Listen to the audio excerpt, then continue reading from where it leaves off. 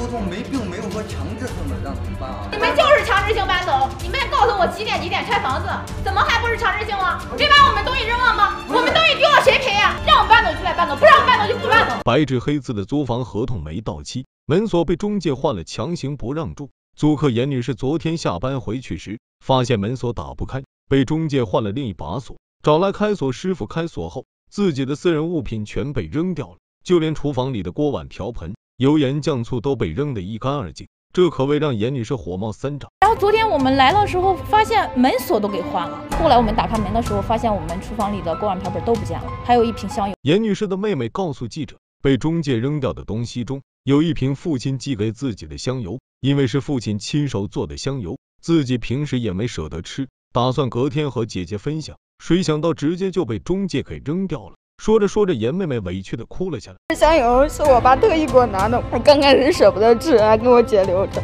然后现在丢了，我也很难过。难道是严女士俩姐妹欠着房租没给，才被中介强行赶出去不让住的吗？不尽然，严姐姐找出了租房合同，合同上还差一个月才到期，而且给记者看了自己的转账记录，姐妹俩是一分钱都不欠的，就这样把他们强行赶出去，这行为完全不可理喻，蛮不讲理。签合同是一年，租到二零二零年呃四月二十一号期间，突然间接到中介的电话，说让我们搬房。既然严女士姐妹俩合同没到期，房租也不欠，那为何中介会私自换锁，把他俩东西全扔掉，想以这种方式强行赶走姐妹俩呢？为了帮助姐妹俩解决问题，记者朋友和姐妹俩一起前往中介公司。本来以为中介负责人很快就会赶到，但中介公司负责人一拖再拖，让姐妹俩和记者等了半天，才草草赶到。这可让严女士气得不轻。时间是时间，我们的时间都不是时间了。你们可以去上班，我们就没有时间上班。我们之所以在这打拼是为啥？就是为了有一份安定的工作，有一个稳定的住处。到底我弄的是个啥？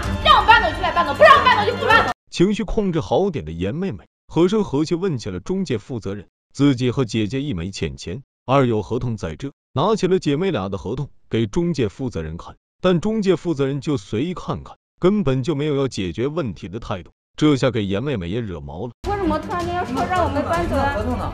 合同在我这呀。我想问你，为什么把我们就先别问了，我看完，等我看完行不行？凶什么凶呀？你打我，还别别别，你打我！中介看这俩姐妹怎么那么难缠，说着说着就找机会想开溜，但被眼疾手快的严妹妹一把抓住，还称严女士打自己。面对这样厚颜无耻的中介负责人，严姐姐也是豁出去了。问题必须得到合理的解决，自己有理根本就不怕。你就过来，你就要过来。